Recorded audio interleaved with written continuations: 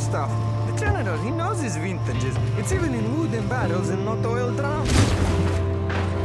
What kind of booze do they put in oil drums?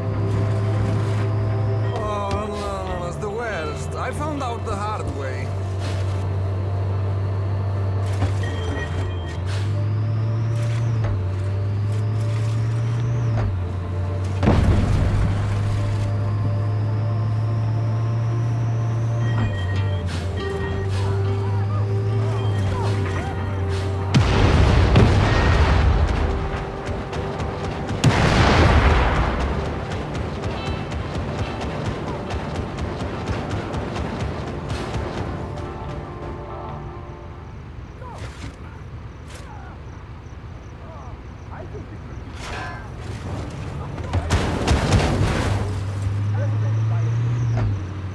Hmm, I like this. It's like driving in a demolition derby.